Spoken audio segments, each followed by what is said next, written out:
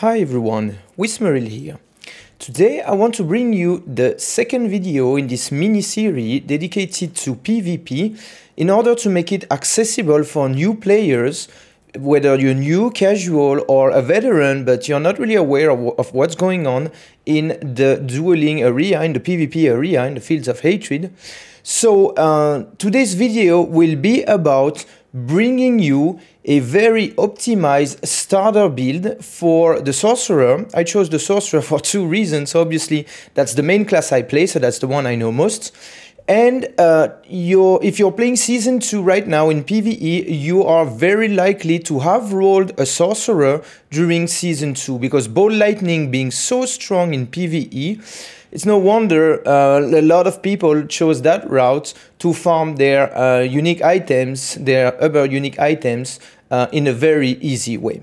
So for all those reasons combined, I chose that the first build I'm going to cover as a starter build for PvP is going to be the Ball Lightning Sorcerer. This video is the second part of a series of three if you haven't watched yesterday's video, I recommend you do so because this is where I did cover the hidden breakpoints in PvP. You see, if you bring your PvE optimized character in PvP, it's not gonna go well because unlike in PvE, there are some hidden caps. Those hidden caps, uh, long story short, are for damage reduction, it's capped at 45%. For armor, you don't want to go beyond 9217 and resistances are uncapped. And for the rest, you really want to work out a heavy uh, health pool and some barriers here and there. You will find all the details in yesterday's video, which I'm going to link at the end of this video and in the description uh, if I didn't forget by the time I edit my stuff. Right, this being said, I'll be assuming that you know and understand those hidden caps and I'm going to walk you through this setup that I have for you. Complete setup is going to include all the Paragon boards, the skill tree, Vampiric powers, your gear, and the roads. And I'm going to explain the choices here and there. Um, one side note it's hard, it, not hard, it's difficult to do a one size fits all uh, build that's going to be for new players, casual players, or veterans. But I did my best trying to bring you something that's very solid, that you're gonna have an easy time. Um, beginning with and that you can master on the way as you're going to spend more and more time in the fields of hatred. I'm going to give you some hints here and there on the possible changes that you can do once you do uh, master this build. The first version, this version, is really made for new players. If you don't have any experience in the fields of hatred, this build is for you. It is very safe. It's ticking all the boxes. Super solid, like it's um, with decent gear. I will uh, uh, give a word on that in a second. You're going to reach those hidden breakpoints. You don't have to max out everything. I made it in a way that it's achievable to really reach those breakpoints without having to farm for days and days. Um, except for the Uber Unique, but we're going to talk about that. So, uh, from a, a, gear standpoint, it's it's it's doable to assemble it maybe in a week if you're just trying out uh, PvP or new to uh, Diablo 4. Maybe in a week you can assemble that. Um, if you are uh, more experienced by just swapping a few things here and there, you will get something pretty solid as well. And for new players, really like those skills and the rotation that I'm going to talk about is very easy you like the, the way I see things is I don't want you to focus too much on wait this thing is doing that when this condition is met. No no no. Everything's pretty simple. Just I want you to focus on paying attention in the fights that you're going to take versus enemies. I don't want you to think uh, well wait I have to wait for that cooldown to be up so that I get this interaction going on. No. Just you'll be pressing your buttons, you know, without thinking too much about it, and you'll be looking at what your opponent's doing. You'll be looking at your your positioning, how you're going to approach the fight. You're trying to read is he having some buffs ongoing? What's what's going on with his character? Whether uh, and, and, then you can focus on optimizing the fight from that standpoint. So that's what I really try to um, get going with this approach. Right. Enough for the introduction. Let's jump into the details. Um, let's start with the gear. So for the gear, as you can see, a realistic goal for you is to assemble this gear having an eye level, internal level of 860. The maximum is 925, but I made the breakpoints achieved if you have gear for like one 860 eye level and forward. Same for the jewelry. Having those um, eye level on your gear will get you to the um, breakpoints that I'm going to touch shortly. And then for the rolls themselves, First, you want to focus on having gear that have all those rolls, that have three out of four, so you can get the fourth one out of the occultist by enchanting your items.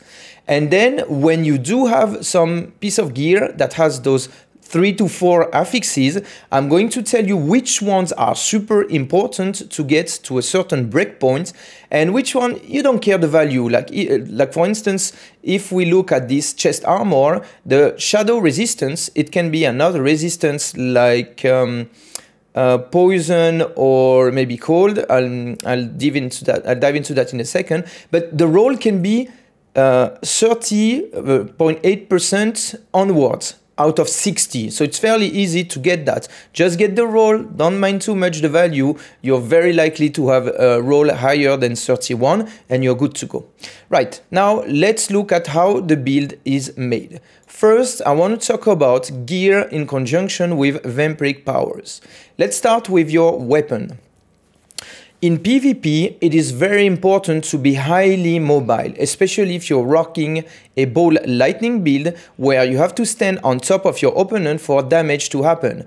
And being highly mobile, you will have the opportunity to outplay the opponent, to not walk on those firewalls to you know dodge um, those poison rapid fire attacks and so on and so forth we're doing that by having the oculus Esu's Heirloom and Metamorphosis. The combination of those three is pretty strong.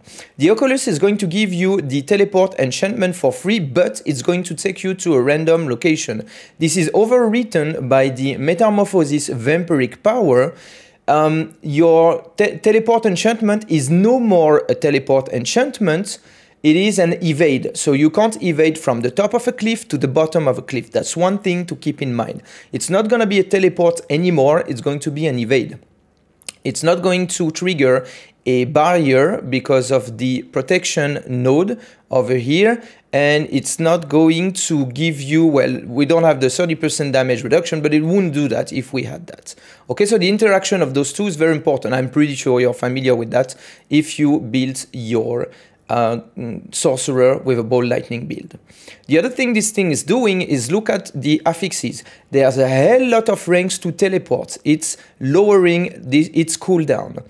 Um, it's having plus three maximum evade charges. That's a total of four you're gonna have. And every time you attack, you can attack thin air. Every time you press a button, that's how it reads you're going to reduce evade's cooldown by 1.2 seconds. You teleport, that's 1.2 seconds less on evade. You cast one ball lightning, that's 1.2 seconds less. That's how it works. The damage, we don't care that much. It's additive damage. It's probably the least important factor. Um, you're looking to have a 925 Oculus, that's the first thing you want to have, the highest internal level power. And then if you have the luxury to choose between a few that are 924, look for maximum evade charges and attacks, reduce evade cooldown, look for the higher value when it's reducing uh, your cooldown. Right, now let's talk about Esu's Heirloom. How does this interact with those two? The prefix on Esu's Heirloom is evade grants you 75 movement, percent movement speed additive for 3 seconds. Guess what? You have evades like there's no tomorrow. You'll be able to dash pretty much everywhere all the time. If you do your things right, if you recharge your evades with a few, a few attacks here and there. And every time you evade, for 3 seconds, you're going to benefit from plus 75% movement speed. And if you have a good roll on the movement speed prefix on your boots, the first line over here, you're going to have 100% bonus movement speed. This is the cap. You start at 100 base movement speed and you can only have 100% bonus movement speed, reaching, getting you to 200% movement speed, right? So by just having one movement speed roll on your boots and having that, you'll be capped out most of the time at 200% movement speed. You uh, evade through metamorphosis to a location you can control, bang, you're moving for three seconds at 75% movement speed. The combination of those three is pretty solid. So it will help you to close the gap between uh, you and the enemies. It will help you to dodge some skills such as uh, poison rapid fire attack from rogue's opponents if you happen to be against one.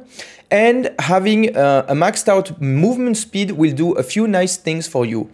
On the legendary power of those boots, it's going to give you an additive 30% increased critical strike chance, which is very good in that build because we are not rocking the Elementalist Legendary, giving you up to 60% uh, increased uh, critical strike chance depending on your mana. We're not doing that. So we're very happy to get the 30% additive critical strike chance over there. Plus, it's going to, thanks to this busted Vampiric power in Season 2, Ravenous, it's going to give you some uh, increased attack speed. Um, that's going to scale all the way to 80%. If you're at 100% base movement speed, that's 40% attack speed, increased attack speed. And when you are at 200% total movement speed, it's going to be 80% increased attack speed. This attack speed is going to funnel nicely in ball lightning, having the damage ticking, I think it's uh, base 300, uh, 3.3 times a second, and I think you can scale it all the way uh, 10 times a second, if I'm not mistaken. I'd have to read my notes, I'm not too sure. But the, the thing you have to remember is this will funnel into mm, dealing more damage with ball lightning. So the combination of those two vampiric powers and those two uh, unique items is pretty solid, very good start. More mobility, more damage, more outplay, more skilled things in PvP, uh, PvP. Because PvP is mostly about skill. a little bit about knowledge, bug knowledge and stuff, but yeah, uh, you, you definitely need those, right? So that's how we're going to start uh, with this build. Uh, those boots are super nice because they include mana cost reductions, which is not included in some other unique boots, and I really love those ones. They're super nice. Critical strike damage is an additive bonus. Uh, we, we won't expand too much on that. The third unique item I want to talk about is Tibault's Will. By the way, everything I'm showing you here is best in slot. This is what I recommend you run the build with. This is how it's been optimized. Don't swap your items too much. You might bre uh, break some breakpoints and you won't have the most optimized way to start your adventure in the PvP environment.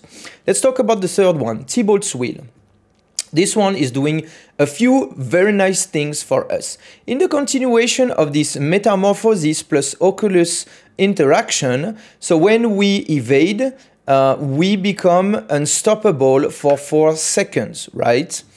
And thanks to Tibault's will, every time we become unstoppable, we gain 50 of our primary resource. This 50 is multiplied by our mana generation. I'll touch on that in a moment.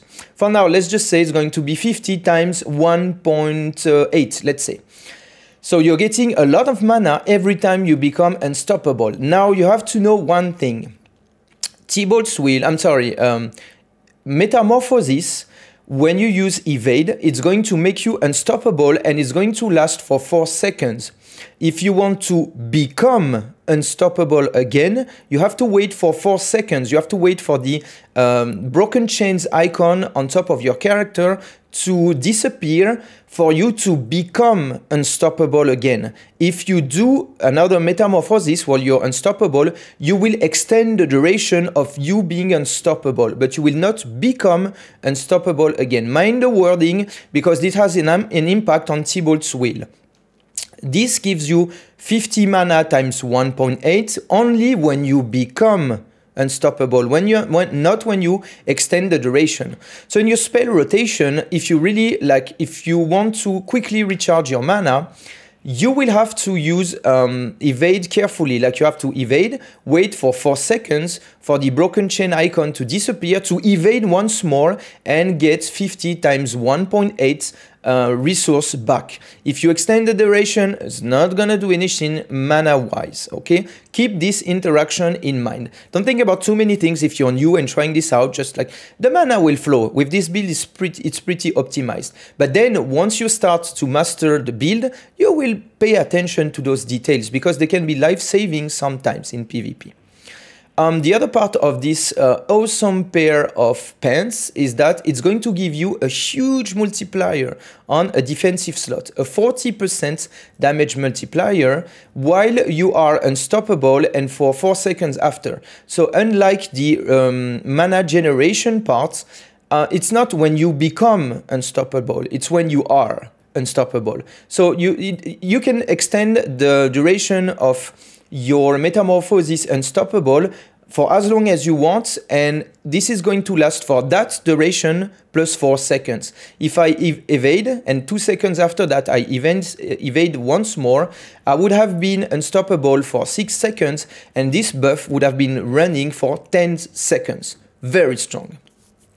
On the affixes uh, side of this thing, the prefix, uh, it's a nice to have, but the affixes themselves, we are really looking for maximum resource and damage reduction from close enemies.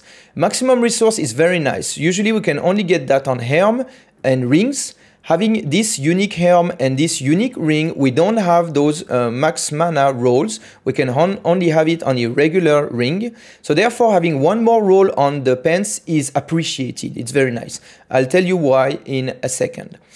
Uh, the second, the most, if I would say the most important affix you're looking on those pants after the multiplier value, of course, you're looking to have a 40%. And the second one you're looking to have is as close to the maximum on damage reduction from close enemies. This is in order to reach the breakpoint of 45% damage reduction. Check yesterday's video if you want a full uh, highlight on that. But basically we're reaching those 45% damage reduction in two ways. You want to have 45% damage reduction from distant enemies and from close enemies so that you don't have to think about anything to benefit from the maximum damage reduction. You don't have to set enemies ablaze and be dancing uh, a few things while it's Monday and it's raining. No, no, no you'll be benefiting from the 45% damage reduction period. And to do that, you need to have the highest roll you can find on those pants along playing, where are you, the territorial glyph, uh, glyph, I'm sorry, for 15, it's bugged, something's going on with Maxroll, uh, for a 15% damage reduction against close enemies.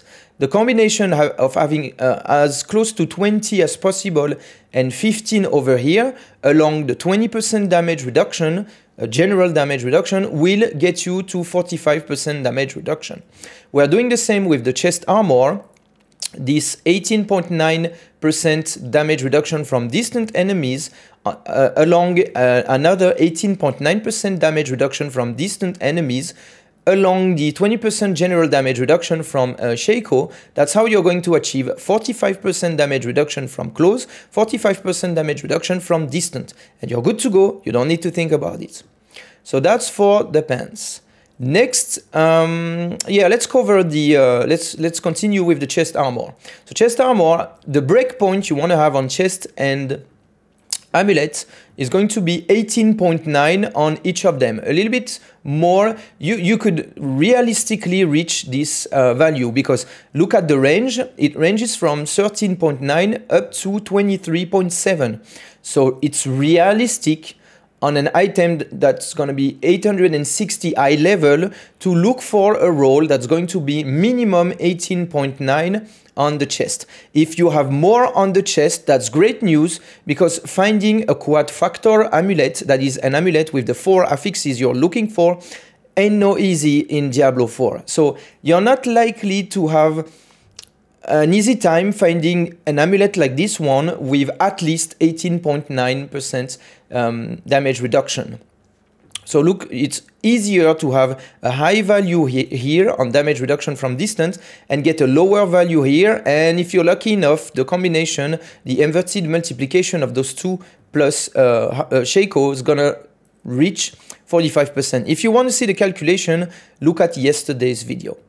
Uh, let's continue, let's finish with the chest armor.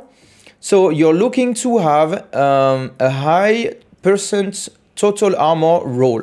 You really need to focus when you're choosing your chest armor on those two rolls.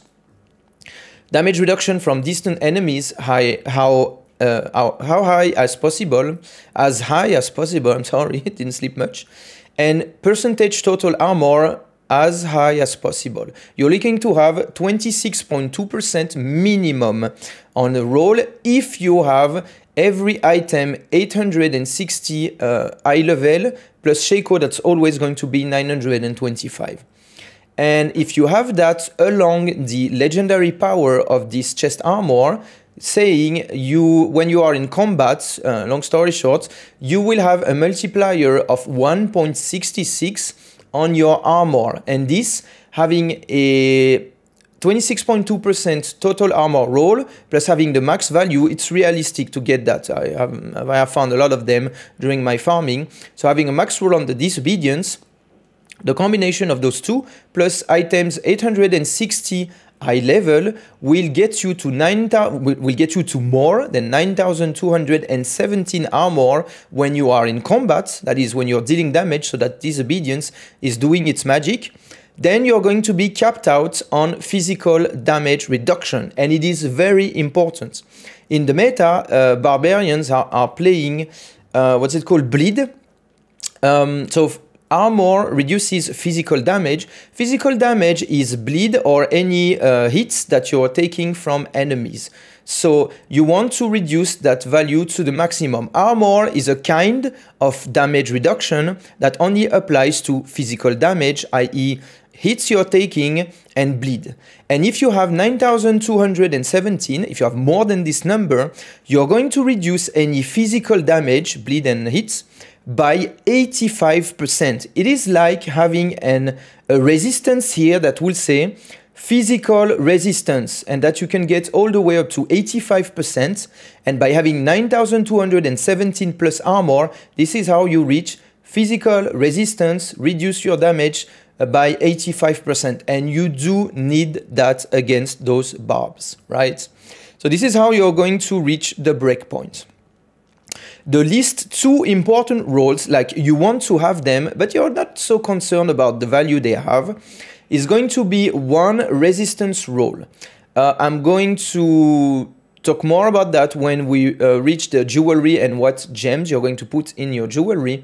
But let's just say you need one random, or uh, not random, you don't want fire and you don't want lightning.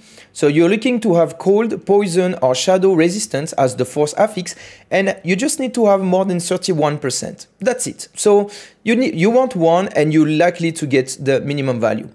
The maximum life, this value here, scales is tied to the in the eye level of your chest armor. So you, you don't you don't need to bother too much about it. It's if, if it's an uh, eye level 860 chest armor, then it's gonna be whatever value is tied to that high, um, internal level. So you don't need to bother too much about it. You just need to have it. That's what you want. Okay, so that's it. Look for damage reduction from distance, the highest possible value, total armor, the highest possible value, and then look to have one resistance among shadow, cold, or poison, and it has to have a maximum life roll. The maximum life roll here is not multiplied by the percent increase given by your rubies. You see we have rubies in our gear, and it's not multiplied by your uh, paragon um, maximum life increase. Those is a percentage, so they multiply the, your life, but they don't, for a silly reason, they don't multiply the maximum life rolls on those items. You can only have that on pants, chest, helm, rings, and they don't multiply that. They multiply your base health, which is which is tied to your level. Your level 100, you have a health pool equaling to X, this X number is going to be multiplied by the sum of all maximum life rolls in your paragons and maximum life rolls on your uh, gems, on, on your armory slots, that is. Right.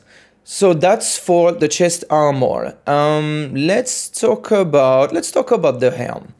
Okay, I'm so sorry guys. It is a Shako build.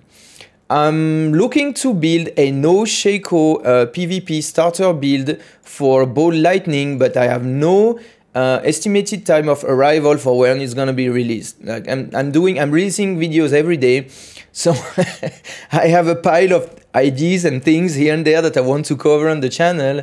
And this is one among them, so I'm so sorry guys, you will have to farm your Shako if you want to assemble that. If not, maybe you can rock the exploiter while I'm not too sure this uh, multiplier works. I think it works with dot damage, but not with flat damage.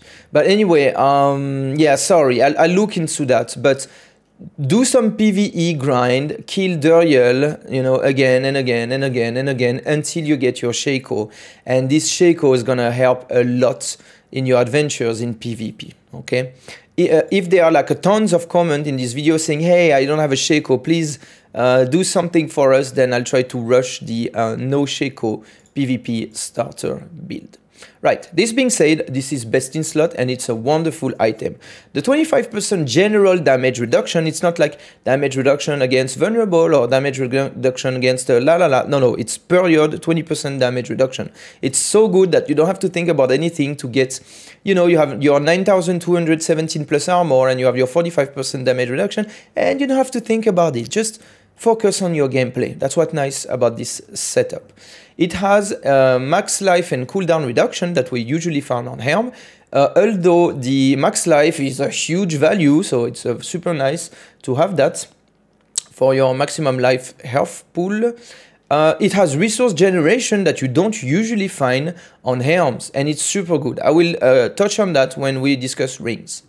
And all stats, you can have that on a helm. It's not really necessary. It's gonna scale a little bit the damage multiplier you get from your intelligence. It's gonna scale a little bit the uh, all resistances um, damage reduction you get, I mean, uh, scaling you get from your intelligence, but that's about it. And it's gonna do a few more things in terms of resource generation, critical strike chance, and dodge, but it's not, uh, we are not getting that here for that. It happens to be here, it's not best in slots, um, live with that.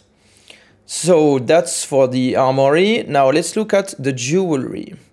Starting off the amulet. Okay, the amulet is a very interesting spot for any theory crafter, any builder on any class in Diablo 4 because it can host either a defensive power, legendary power, either an offensive, legendary power, a mobility, legendary power or a utility legendary power. And it's going to multiply whichever of those legendary power you choose by 1.5.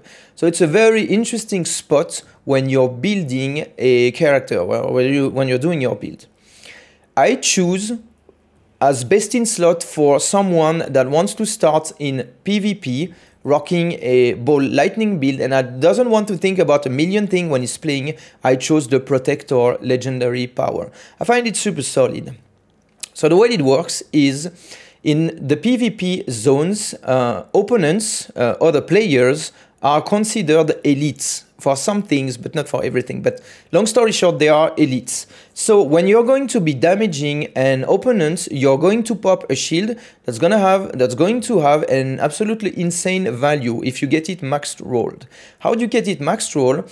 You want an item that's gonna be around 925 internal level, and that's going to have this legendary power of the protector uh, having a roll on the closer, on the higher side, right? You're going to have to extract this uh, legendary power and imprint it on an amulet. And when you imprint it on the amulet, it's going to be 1.5 times the initial value that you extracted.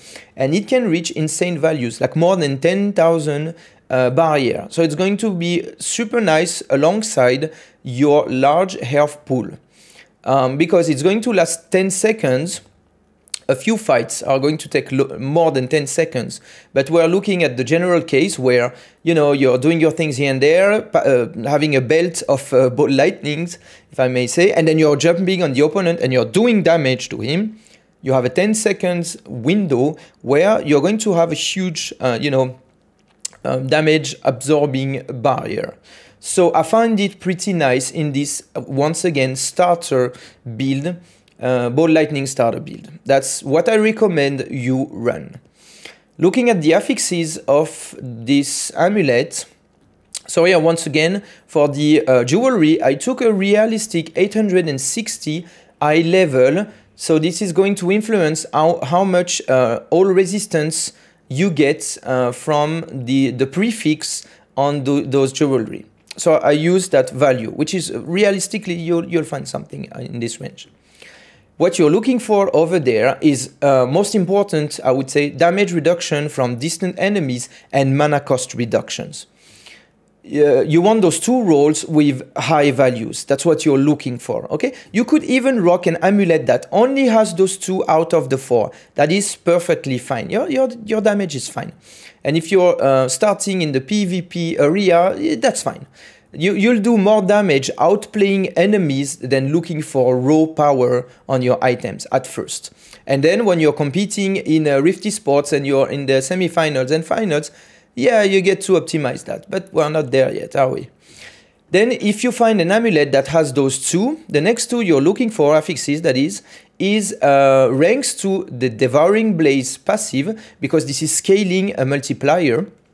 It's doubling the value of the multiplier you get from uh, attacking enemies that are on fire, that are set ablaze.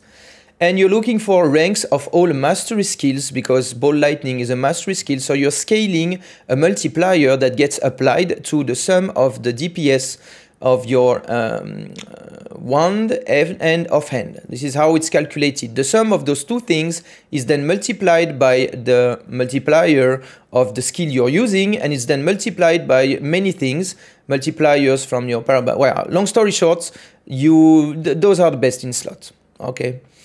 Um, so that's about it for this. Uh, yeah, let's talk about the new unique uh, ring, the Tal Rasha iridescent loop. This thing is huge. It's best in slot in many, many sorcerer builds. And this PvP starter build is no exception. What it's gonna do for you is going to give you a 60% damage multiplier. 60 is a huge number for um, build standards. You know 40 is already big, we are usually more looking at uh, 20, 25, 30, 35%. So 40 is already big, and 60, uh, it's a huge number for those standards. Um, how are we going to charge up all the way to 60%? We just have to do four types of elemental damage. The sorcerer has access to uh, cold, lightning, and fire, and thanks to season 2, we have access to uh, poison damage. By doing those four types of damage, you're going to scale this multiplier to 60%, and that's a huge uh, damage increase. Now, let's look at the damage rotation because we are rocking this um, ring. First, you'll, be doing your things as usual. You'll have to pop ball lightnings, aren't you? Because you want to damage the enemy. This is lightning damage. Guess what? You're running the Firebolt enchantment, which means anytime you deal direct damage from skills, this is di direct damage from skills, you're going to set ablaze an opponent. So it's going to deal burn damage for 8 seconds. So you don't have to think about it. You're doing your things. It's already 30%. How about that one?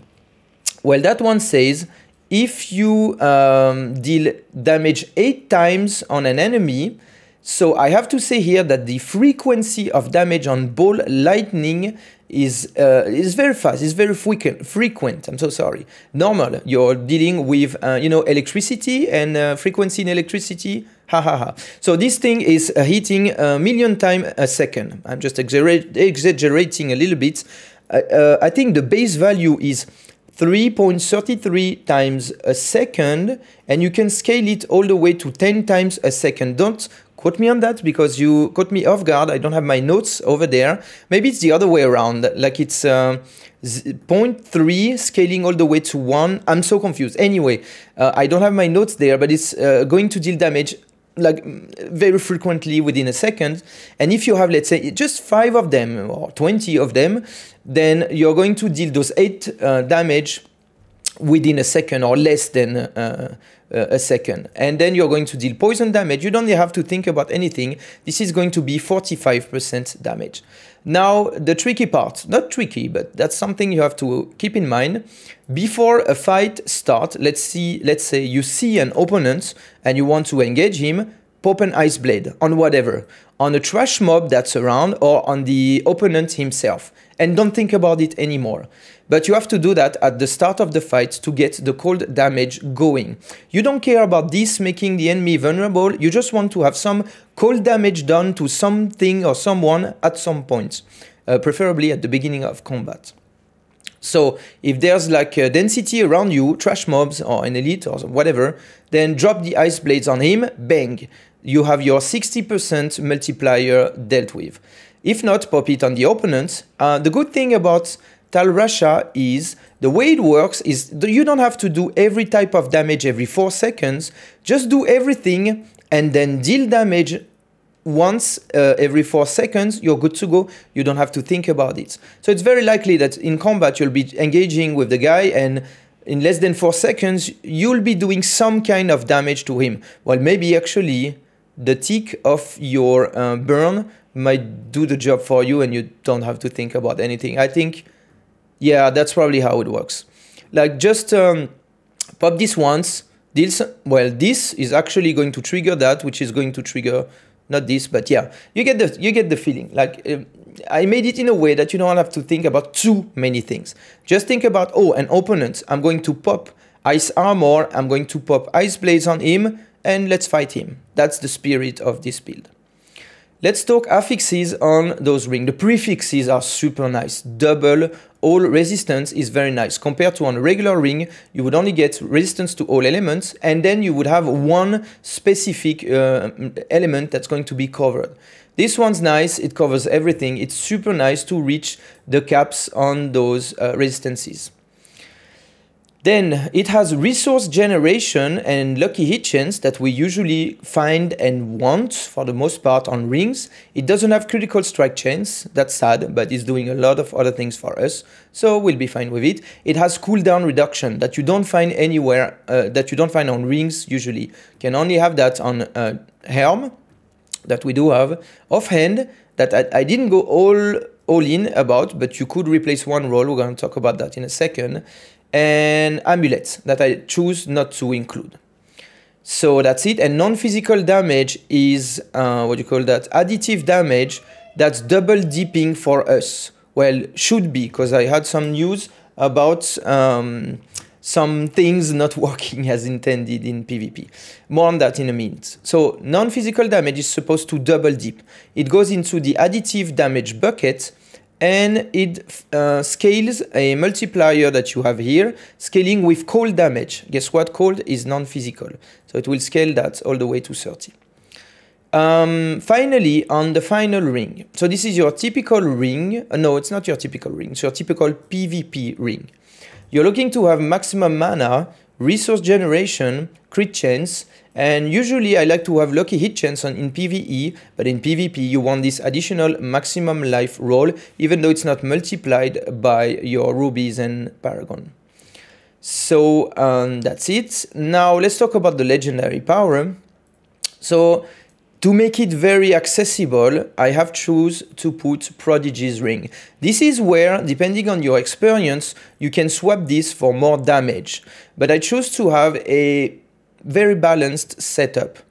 Every time you pop a cooldown, except for Ball Lightning, all those are cooldown and you have a way to reset your cooldowns. You're going to generate 25 mana times uh, the mana generation you have over there. So you won't lack mana. Even if you're not optimizing how you generate mana with those pants, just this will, will do the trick. You'll be fine. It'll be perfectly fine on the mana side if you roll this setup. If you're an experienced player, consider changing that for conceited. Uh, this is a 25% damage multiplier when you have a barrier. That's what I would recommend to run. Okay, uh, now let's talk a little bit about mana generation. We have so many mana generation rolls in that build. Rings, Offhand, and um, Helm. How does that work? Let's say you generate uh, 50 mana Well, let's not take the maximum value. Let's let's say we don't have those 97.4%. Let's say we have 80%, which is more realistic because you're not going to have max roll everywhere except this. So uh, when you generate 50 mana by becoming unstoppable, it's actually 50 times 1.8. And this 50 is 90. Uh, your maximum mana pool should be around 130 if you're not maxed out. So 90 out of 130 just by press. Uh, I'm, I'm sorry, you're getting more because of that. But this power is giving you 90, so it's huge. This power over there is 25 mana if you have it maxed rolled times 1.8. That's actually 45 mana every time you press a cooldown. What is it going to do for you? Well, you see an enemy. You want to engage him like pop, bo, pop ball lightning until you're empty mana, then press some cooldowns. Maybe press. Uh, you're going to have to press ice armor and ice blade to begin begin your combat. So empty your mana pool, and by having as many ball lightnings as you can have, then press uh, ice armor for extra protection and pop ice blades on an enemy somewhere. That's uh, some mana you recovered uh, you know, get more ball lightning and then jump on him. So you're gonna have a, a, like a belt of I don't know eight to ten ball lightnings. That's how you set up your combat, and that's the time you want to engage. So this uh, setup over here will allow you to do that. You know, empty your mana bar, do some things, empty your mana bar again, and then only think about how you're going to position yourself against your opponents by doing that, you know, you're free of all the pesky things that can, you know, alter, uh, alter the way you're going to take on the fight. Focus on dodging things, dealing damage, positioning yourself in a smart way. And by removing unnecessary things you have to think about, you'll be um, progressing, you'll be mastering the build. That's what I had in mind when I designed this build to make it as accessible as possible. There are two other ways you can generate mana. It might be overkill, but once again, I really try to make this build as convenient to use for new players. So I have included here the fourth uh, affix. This one is on a lucky hit. You have a 5% chance to restore a percentage of your maximum mana. That's why we're happy to scale our maximum mana. The more maximum mana, the more this is going to give. And you might say, oh, wait, it's only a 5% chance on a lucky hit. And the lucky hit chance is very low on ball lightning. You know, so it's going to be like, uh, it's not going to trigger very often. Uh, yes and no. Yes, by looking at the numbers. No, by looking at the gameplay. You're looking to have a lot of ball lightnings around you, and those ball lightning attack very frequently. So on paper, it doesn't trigger very often, but the more it's like you're in a casino and you're hitting that machine over and over again. If you hit that machine 1000 times a second, assuming you have unlimited money, you're going to win faster than if you're just hitting once every second, correct? Well, that's the same. That's the same for how this is going to work out for you. You have two rolls on that. One roll on the gloves, one roll on the offhand. And this, alongside everything else, is a no-brainer for your mana. Just don't think about it. It's gonna be fun. Well, you won't think about it because it's going to be smooth anyway. So that's why I have included those two rolls. If you're an experienced player and you know what you're doing, you're optimizing your skill rotation and picking up here and there uh, crackling energy when it matters, you can remove those two rolls and you can go for intelligence on the gloves. And here I would put cooldown reduction because if you're experienced player, you're looking to outplay your opponent and cooldown helps a lot maybe you would put also cooldown over there. Maybe you don't need that much damage. You need more to have cooldowns up when it really matters. Um, so, and for the rest, look for crit chance, attack speed, and lucky hit chance is a nice to have if you have those two rolls over there. Otherwise, can be an all stat roll if you're looking for more damage. That's how I would do things. Um, yeah, and we didn't talk about that. So for the offhand, you're looking to have a 925 internal level item because this is going to scale the flat damage to the maximum. It is tied to the eye level. And for the rolls, you're really looking to have mana cost reduction and resource generation. This is going to help a lot. Critical strike chance, you definitely need that, especially because we don't have this roll on the rings, on this ring where we usually get it, and we're not rocking the Elementalist ring because I don't want you to think too much about your mana to optimize your critical strike chance. Just empty your mana, refill it, empty your mana, that is by uh, firing ball lightning, and you know, don't think about uh, casting things above a 100%, 100 mana threshold. I don't want you to do that. So that's why it's set up this way. Um, for the legendary power, you're looking to have the storm swell. Now, I have to say, I have heard, um, like, thanks to the feedback I had on yesterday's video, thanks to everyone that has been reaching out to me, uh, some competitors have been reaching out and telling me that this vulnerable thing might not work in PvP, although it works in PvE. So we are looking at this um, storm swell power and this frigid fate node that might be not functioning at all in PvP. If someone has some data on that, I'll be very happy to hear it.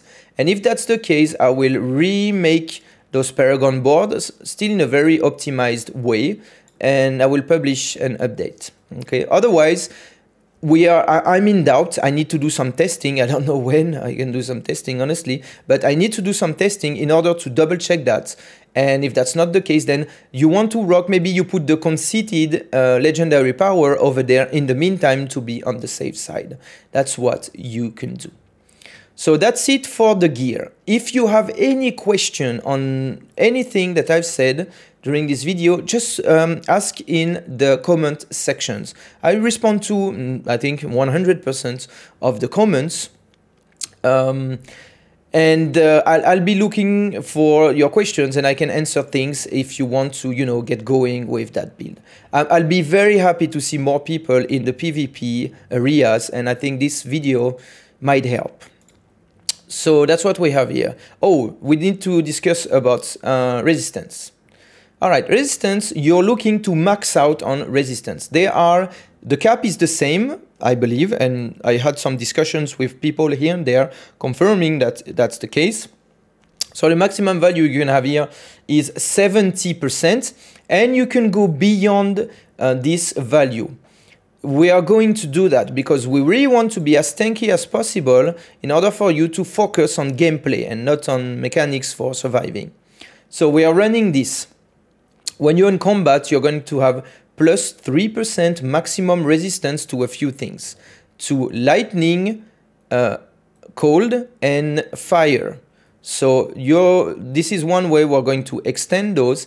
And we are running the Enchanter glyph in the starter board because it's best in slot over there. It's a 70 intelligence uh, board. And this thing is going to extend by plus 5% our maximum resistance to elements that we have in our enchantment slots.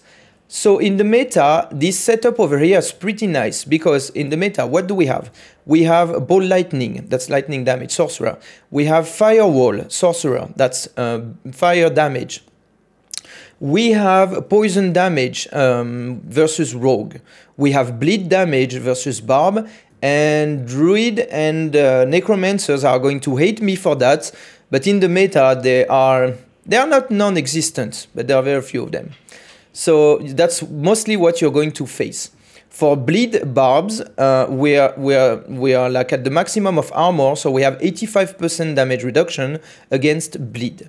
For fire sorcs, for firewall sorcerer, you're going to have 70 plus 10, that's 80 plus 3, 83 you're going to have 83% damage reduction against fire damage. That's pretty good against um, firewall sorcerers.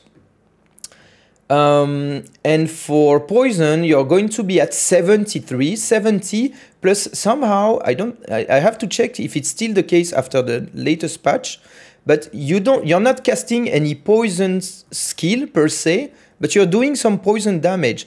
And there was this interaction, um, not this patch, but last patch, where you are getting 73% um, resistance to poison because of this node over there. Uh, if can someone please confirm in the comments, or it's on my to-do list to double check that. But then you're pretty good to go against uh, rapid fire poison rogues or any poison rogues. Uh, how do we achieve that? we're, we're going to want to have some resist some gems in our jewelry. Okay, let's start with the ring. I'm so sorry. This is a bit messy. The, this ring over here, you want it to have lightning resistance as a prefix. Because in the Paragon board you have, you happen to have some lightning resistance over there and by only getting a roll on an 860 eye level ring over there, you're going to max out your lightning resistance to 70 and turn that as 73 because you'll be uh, firing a few lightning spells. And this is great in the mirror matchup against other ball lightning sorcerers. So you really want to have a lightning resistance prefix on the ring over there because you only need that to achieve the cap there. You're saving resources, rolls, points, legendary powers are all resources. And if you're choosing to have one, that's something else you can't have. Um, fire, you need just one. Uh, you do happen to have some fire resistance there. That's, uh, that's a lot of that, by the way. 20 plus 10, that's 30 you have in your Paragon board. So by just having a um, ruby in one of your jewelry, you're going to be reaching this 83% sweet spot for fire resistance damage against uh, Firewall Sorcerer. So pretty optimized setup over there. For cold resistance, you only need to have one um, gem, like this one, the blue one, to reach. Uh, so I kept it this way to show you where is the breakpoint. If you have 860 uh, level items, on your jewelry and running this exact setup uh, in terms of Paragon, you're very close to the um, maximum. This gets capped out anyway as you uh, fire any skill because it's going to give you plus 9% all resistance. But I, I did things differently. I want you to have max resistance before you start combat, with the only exception of the disobedience armor. But uh, see, if you have a little bit more than 860, you're going to reach the 70% base. So you don't have to think about anything. You'll be entering a combat without even doing anything with max resistances. It's going to help on your survivability.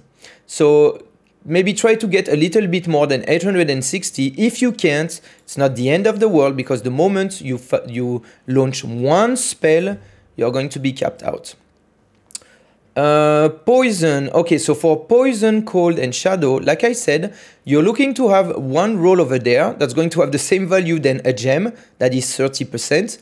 And whichever you have here, just put the two remaining gems over here and there. See, I have shadow here, then I'm going to put poison and cold here. If I had poison here, I would put cold and shadow over there, right? Very easy.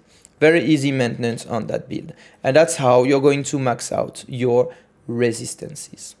Right, we did cover a lot already. Uh, let's talk about um, skill tree and enchantments. Um, uh, let me finish up first on the um, Vampiric powers. We did talk about this. Oh yes, there's a big thing we didn't cover. Vulnerable. How do you make enemies vulnerable? You need to. It's you have like damage multipliers that theoretically work against vulnerable enemies. Uh, so and even if they don't work, you want to set them vulnerable so you have at least a 1.2 damage multiplier against them. The way I choose to do it in this setup is uh, through metamorphosis. So that's something you have to.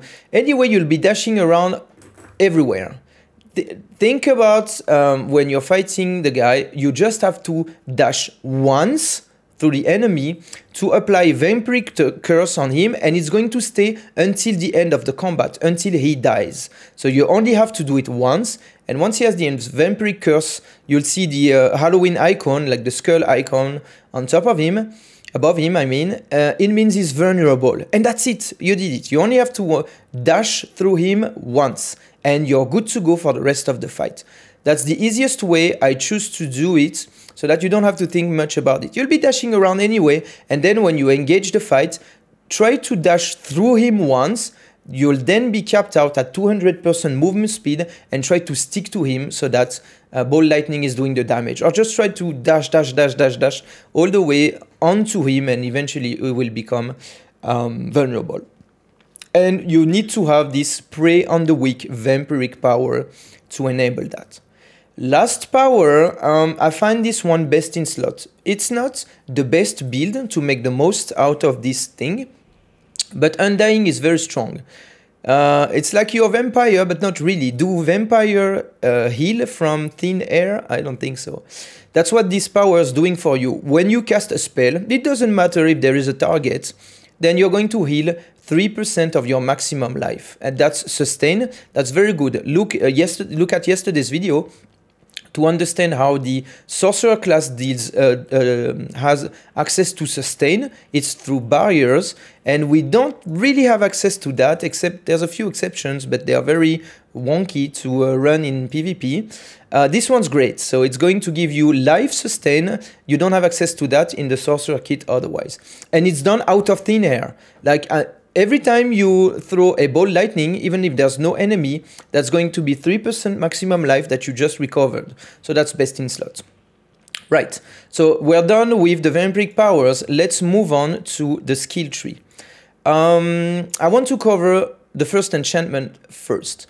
Uh, for safety, like uh, for new players, this thing here is going to do a lot for you. The Flame Shield enchantment is a cheat death and you can scale the duration of this cheat death. Uh, if it has no points, I believe it's a 2.1 or it's 2.0. It's, it, it lasts for two seconds when you're dead. Well, guess what? You're not dead, and you have two seconds of invulnerability. If you put four points into that, that's 2.4 seconds of invulnerability. With Shako, that's 0.4 additional seconds. So it's not showing there, but it's 2.8 seconds. I didn't go crazy all the way on that, having ranks to um, Flame Shield on your boots and having ranks to defensive skills on your amulets to go to an insane value when you have a Harlequin Crest. I try to balance things, but just know that you could scale this uh, like a lot more. 7, 11, mm, 14, you're looking at 3.5 seconds of invulnerability when this is maxed out. And in the skill rotation, it's going to be very nice. Let's look again at how we approach an enemy. Fire as many ball lightning as you can. Refill your mana. Do it again. Maybe refill your mana and do it again. You know, until you're satisfied with the amount of ball lightnings that are orbiting around you thanks to this legendary power over there. Then pop um, ice blade, pop ice armor. So you have a shield that you're going to use for sustain, for barrier sustain. Then pop uh, ice blade on the enemy. Boom, is uh, been dealt cold and fire damage. Now Jump on him and do your things. Try to kill him. Let's say he kills you, he deals a lot of damage to you. You will hear this flame shield enchantment popping. Means you have to know you have, uh, what's the window again? Two, let's say you have around two and a half seconds, but like count in your head for two seconds, you're invulnerable. Continue your things, try to kill him. After those two-ish seconds, pop it once more. So that's another 2.4 seconds where you can die and uh, monitor count in your head for two seconds. Before you die again, or die period, pop uh, deep freeze. It's going to uh, reset, it's going to set you um, invulnerable, immune, in the, the, that's the keyword, and it's going to reset all your cooldowns. Once you exit deep freeze, pop again flame shield. So all in all, it, it has been around seven seconds and a half where they couldn't kill you. That's very valuable. Okay, so if you're a new player, that's why I did put this uh, ultimate skill. Mm, if you're experienced, we'll talk about it in a, in a second. So that's the rotation I have for you. If you're a new player, you don't want to die. You want to learn about how to engage combat, how to dodge things, how you can improve things. And this is best done when you're not dying for seven and a half seconds when, when you should, okay? Uh, and you're gonna have a lot of uh, uh shields here and there popping uh, you know, in the meantime, that are really making sure that you don't die in the first place. And if you do, you don't die. so that's how it works. Um, so that's how you want to um, do your spell rotation. Now, one thing, um, when you're going to face an experienced player, he will know there's a window where he can kill you between the end of your deep freeze and the beginning of your next flame shield. There's a delay when you exit deep freeze uh, before you really have your flame shield up. And if your opponent is experienced, he will kill you in between. Um, and moreover, if you have a higher ping, if your ping is 100 or something, if it's not like between 5 and 30, there's going to be an additional lag input uh, by the time you become uh, uh, invulnerable immune, that is, again. So just know that. Uh, if you're facing someone that's new, he won't notice that. If he's experienced, he will know that and he will try to go for the jugular in between those two skills. There is a little bit of a mind game with deep freeze because you are the one to choose when it ends. You can press it again to choose to end it now. So there's a little bit of a mind game as to, okay, maybe I can try to outplay him because he's not expecting me, like he's running away for a moment, expecting this to last the full, full four seconds. I'm going to end it prematurely so that I can really pop my flame shield and teleport or evade back onto the guy. So there's some leeward on the outplay potential of this.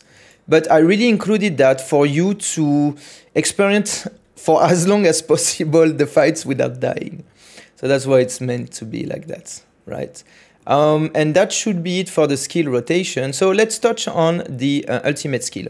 So that's what I recommend to run if you are new or casual, let's say. If you know what you're doing, uh, it, I think it's better in my book to run unstable currents. You would just remove th those three points over there, put two here. Yeah, this is bugged, by the way. We'll, we'll talk about that in a second. Um, and the last point where you can put it, where is it, the two out of three, you could put it here. This is how I would run it. Uh, if not, oops, you want to run it this way. Uh, why? What's different when you run unstable currents?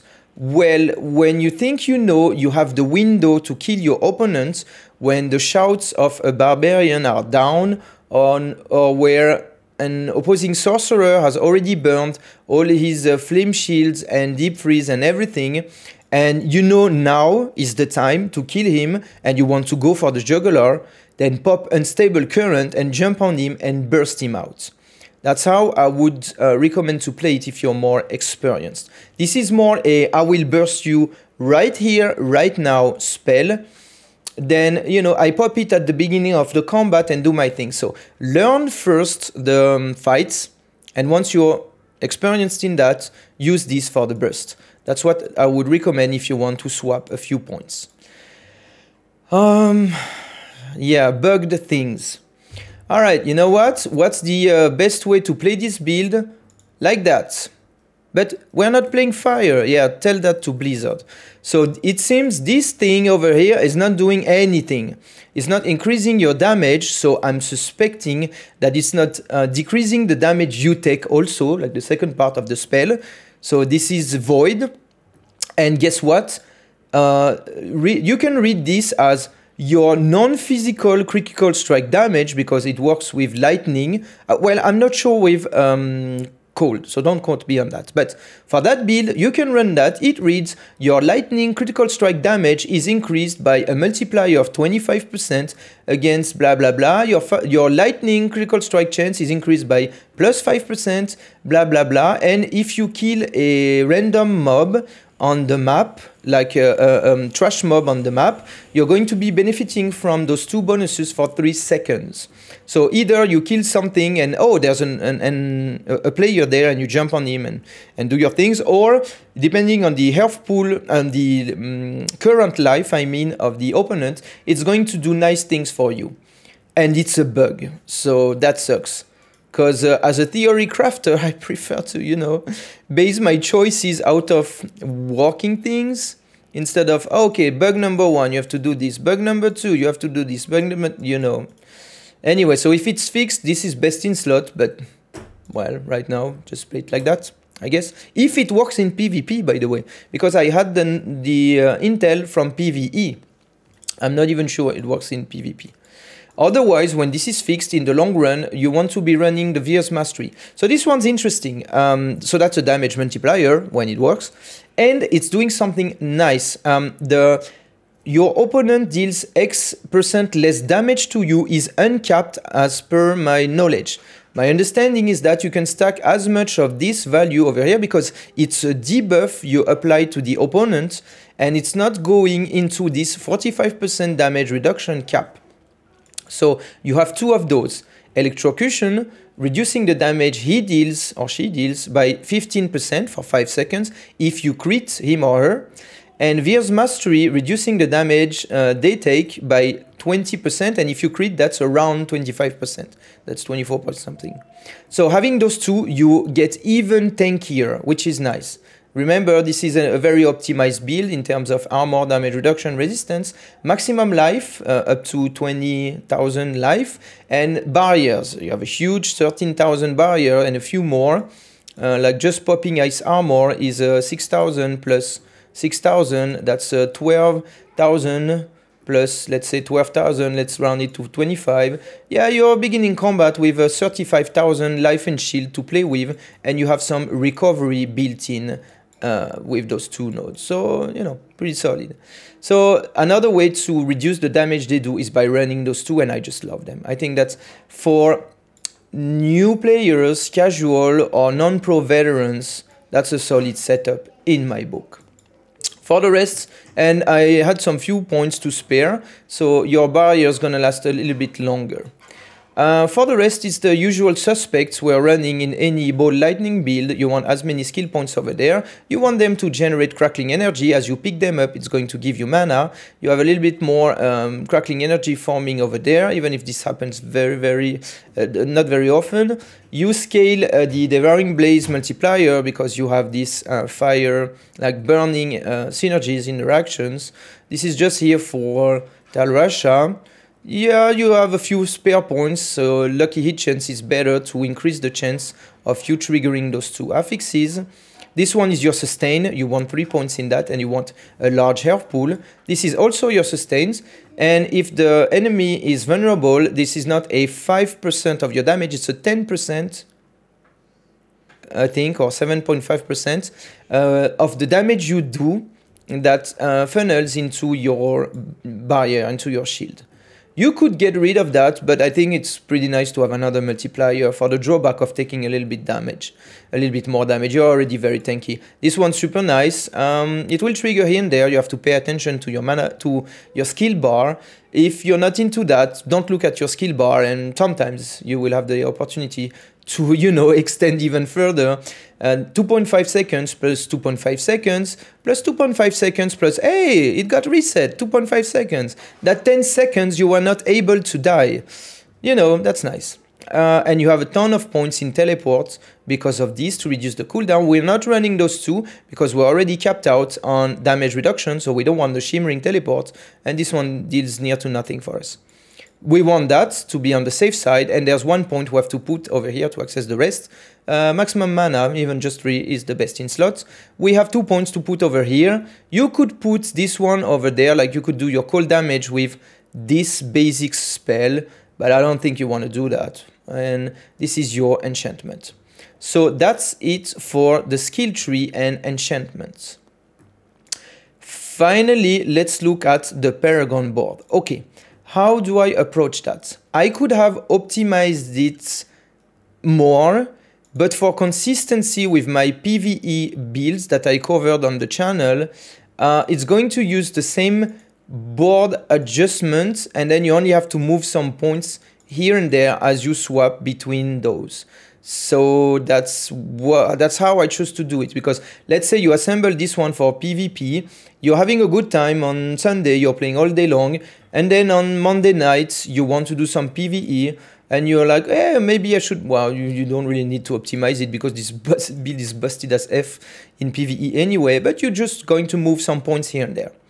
What did I change mostly from the other version? I looked for maximum life um, nodes that I didn't take in the PVE version because you really want to get to those sweet 20k and you know life pool. It's going to some some people that are not going to run and optimize pvp build will be like i can't kill that guy. His health bar is not going down. And that's the feeling you want to have. Uh, some people that are that have good builds or are experienced in pvp will be able to challenge you. But for the most part i think this is a very solid start for the rest, so in order to include that, I had to cut some additive points here and there. So let's say this is version uh, 1.0. there has to be a version 1.1 in the light of the information I received between yesterday and today uh, by um, pro players on things here and there. They fed me some intel, thanks very much, by the way, on things that might not be working as, as intended is a bit of an extent, but that are not working properly in PvP. We're looking at this node over there, not doing damage. So that's one of the things I might change in the future. If you have some intel, you have really confirmed that that's the case, I'd be very happy to hear about that. Um, otherwise, go for that setup until I modify it once more. So I had to, and yes, where are you? The I heard also, didn't test it, that the exploit, that anything you get beyond the initial 20% damage you deal to vulnerable goes to waste. Just like in season one for non-dot damage, that is. And I didn't test that, but if that's the case, well, we'll have to get rid of the exploit glyph also. The multiplier is nice, but we are losing all the um, you know vulnerable damage that's supposed to go in the additive bucket. But I heard stories that is not the case. So just know that uh, if you test things, please let me know. I'll update that, and it will be this you know public PvP starter board that you know every new player is gonna run when you find them in the fields of hatred. That's a mm, solid, decent build. You know they're running that, so you have the edge even if you're a pro player. But you know, if you give me that information, you might not be get keeping things that will give you a super high competitive edge but in the long run, you will see more players in the PvP area. Well, hell, it's up to you. I'm just, I'm doing my part. This is my the message in the bottle I'm throwing out in the sea. If someone wants to pick it up, um, you know, just, just if you want to see more players in the PvP area. Um, for the rest, so same setup, we're scaling non-physical damage wherever we can because we're assuming that this works and it scales with cold damage, so that's a double dip scaling a multiplier while adding in at the same time the uh, overloading, if I may say, the uh, additive bucket. That's how you do it with the um, you know Paragon board. That's where you want to do it, not on your gear. Uh, I'm still assuming that critical strike damage beyond 1.5 is not going to waste. It's just going to the additive bucket. So that's why we still have this over there. Uh, uh, territorial is very nice for the 15% damage reduction. That's one less roll you have to take on your gear. And this is additive damage, so it's nice. I did cut some points, additive points here and there, huh, to have to get the uh, maximum life rolls wherever I can. This is for non-physical damage, double dipping. Exploits, uh, we're not sure if it works. Um, flame feeder, well, we're running burning, um, what's it called, uh, devouring blaze, so we, we might as well get this 10% uh, damage multiplier and some additive damage. Uh, and this one's very important. Um, it makes ball lightning 20% uh, bigger, which is nice because when you stand on top of a boss, you're sure that every ball lightning that's orbiting around you is gonna hit the boss. Super cool. The hit it's not the hitbox the le socle the like the size of an opponent is not super huge boss so not everything's gonna hit but these things certainly helps a little bit and that's some additive damage um, I will conclude saying that what you have here might not be the super top of the board best optimized but I think it's very solid and when you drop into any PvP forum or wherever on the internet and say, hey, I'm new to PvP, can please someone give me a starting build so I can try uh, the fields of hatred? You're gonna hear silence. Well, that silence is gone. Have this, my friend. Try it. Venture in the PvP zone find some other people find some friends that want to you know play pvp also give them this build and say hey i know you rolled a sorcerer because it was maybe the most popular class of season two Let, us head into the um, fields of hatred let's let's go the two of us and try to have some fights going on then you have something to start with. That's the first build I'm going to cover. I have no ETA for the no Shako version. I want rather to work on the um, flame, what's it called again? Um, sorry, didn't sleep much. The uh, firewall version, I'll give you a second starter build, which is going to be the firewall sorcerer, a dot build, very efficient in PvP also. And I'm a main sorc, so I don't want to overextend and give you something that might be completely crap if I try to cover other classes. But at least, hey, you're gonna have two starter build as a sorcerer to have fun in the fields of hatred. So that's gonna do it for me today for this video. Tomorrow, oh, by the way, there's a nice competition going on tonight. That's the EU, European uh, League for uh, PvP tournaments. Uh, that's going to be held on the um, Rift Esports Twitch channel and you'll find a replay on the Rift Esports YouTube channel. If you want to compete, they have a Discord server. I'm going to link everything in the description of this video. Tonight's the night, we're Saturday night, that's the European League, both amateur and pro. If you want to, you know, rumble, then head over there, I'd say. Otherwise, uh, that's the second video of this series of three. Tomorrow's videos uh, will be about the metagame. With yesterday's video, you know what are those hidden invisible walls in the PvP maze, so you can get your way through. Today you have one and then you'll have a, second starter build. Tomorrow you're going to learn everything I know. I'm not the most knowledgeable person, but I do know some things about the metagame, what you'll be facing. Um, and when to fight and when not to fight. I'll be trying to convey that information in tomorrow's video. And it's going to be the final video in this mini series dedicated to PvP. You guys have a lot of fun in the fields of hatred. This is Wismerhill signing off. I'll see you guys tomorrow. Have a great weekend. Have a nice day.